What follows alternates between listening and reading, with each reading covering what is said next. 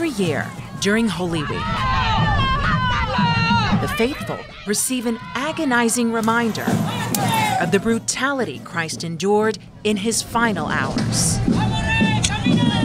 A dramatic bilingual reenactment depicts the arrest, trial, and suffering of Jesus. He comes out with scars on his back when he, it's all over with. It's very real. Thousands of spectators are led on a spiritual journey, taking time to repent and reflect. This sacred ritual takes weeks to prepare. I'd like to thank you for all your blessings. Thank you for this weather. Director Edgar Olguin starts rehearsals after Ash Wednesday. Nomás ustedes párense así. I've been doing it for almost 23 years. Twice a week, cast members gather in the shadow of San Fernando, A nosotros no nos permite la ley. doing at least three run throughs each night. An all volunteer cast can be challenging.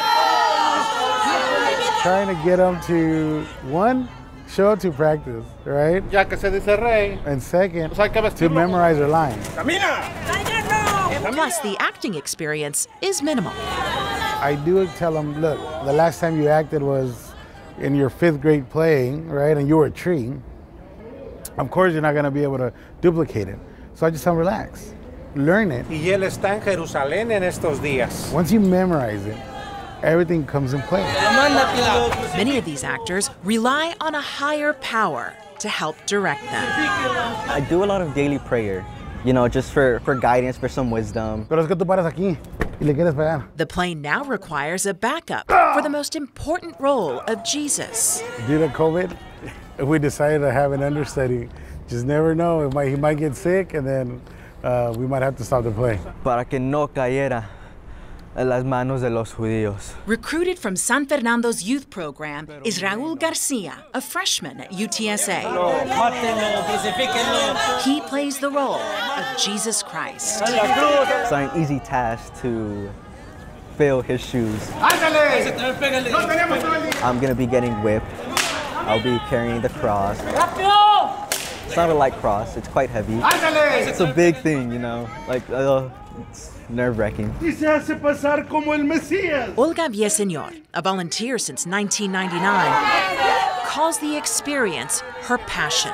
I'm one of the good ones. I'm not the one that yell, crucify him or kill him. I really get into the moment. I go back to that time. Good Friday is traditionally a day of sorrow, made all the more powerful by the devotion of the faithful.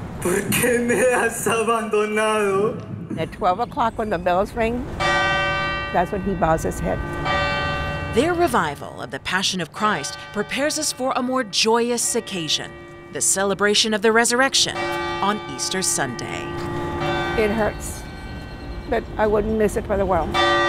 Alicia Neaves, KENS 5.